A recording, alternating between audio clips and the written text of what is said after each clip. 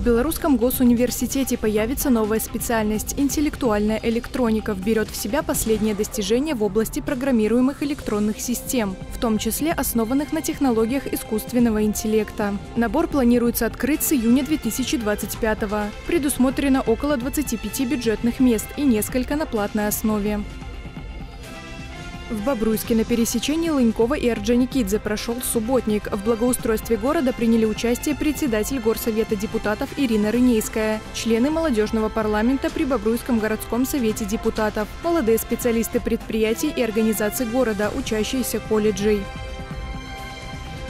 В Бобруйске пройдет единый день депутата. 3 октября с 10 до 18 часов граждане смогут прийти вне зависимости от места проживания на прием к депутату Бобруйского городского Могилевского областного совета депутатов. Приемы будут проводиться в горисполкоме, администрациях Ленинского и Первомайского районов. Телефоны для предварительной записи и уточняющих вопросов 68 00 13 68 00 29.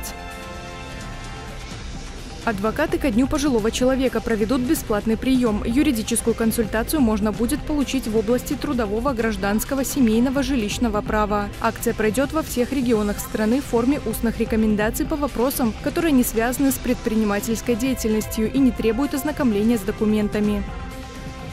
С 7 по 11 октября в стране пройдет специальное комплексное мероприятие «Арсенал». Цель – предупреждение и пресечение правонарушений в сфере оборота оружия. УВД Бобруйского горисполкома напоминает, за незаконное хранение и использование боеприпасов взрывных устройств грозит уголовная ответственность с лишением свободы сроком до 12 лет. Лица, добровольно сдавшие «Арсенал», освобождаются от уголовной и административной ответственности.